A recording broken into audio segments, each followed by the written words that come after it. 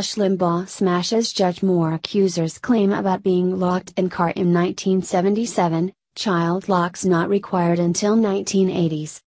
On his nationally syndicated radio program Tuesday, Rush Limbaugh discussed recent sexual harassment allegations against Alabama GOP Senate candidate Judge Roy Moore by Gloria Allred's client Beverly Young Nelson.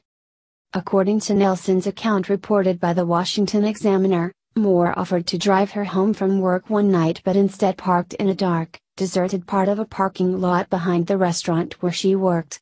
Nelson said Moore groped her and began squeezing my neck attempting to force my head onto his crotch. Transcript via Daily Rushbo. Limbaugh, Alabama Senate candidate Roy Moore is denying that he ever met the woman who on Monday accused him of sexually assaulting her in a diner parking lot in 1977 when she was an underage teenager, calling her allegations absolutely false, despite his apparent signature in her high school yearbook. I can tell you without hesitation this is absolutely false. I never did what she said I did. I don't even know the woman. This is 1977? Somebody tell me, in 1977, were there child locks on the door? In other words, could the driver push a button that would make sure all windows and doors could not be opened? Was that present in 1977, because she says she couldn't get out? But did child locks? Were they in 1977 vehicles? I'm trying to remember what I had in 1977. I had a Pontiac. Well, it was a pretty big Pontiac. The car I had didn't have them in there.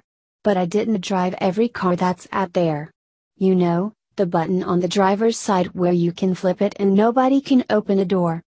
It's to protect kids from opening windows and doors when the car is moving. But if that wasn't present. Interruption Child locking mechanisms have been required since 19. Interruption Contained? Interruption, okay. They've been in the automobile since the early 80s. They've been required, is that what you're saying? Required in automobiles since the early 80s? Cars have been built with a feature, not required. Cars began to be built with a child lock feature in the early 80s. So it might be safe to assume that the door she was sitting next to she could have unlocked it, unless Roy Moore had a special custom lock called the female anti-escape lock on the passenger side of the front seat of his car. Well, she says she's being overpowered. His hands are around her neck. Isn't that right? In addition to Limbaugh's observation about the car lock, other aspects of Nelson's account are being challenged as well. In a video posted to YouTube on Monday, body language expert Bombard analyzed Judge Roy Moore accuser Beverly Young Nelson's facial expressions and vocal discrepancies, concluding Gloria Allred's client conveyed signs of deception. Nelson was acting, and not a real victim, says Bombard. Nelson's first sign of deception is visible as she stiffens up while explaining how Judge Roy Moore allegedly attacked her when she was a child, says Bombard.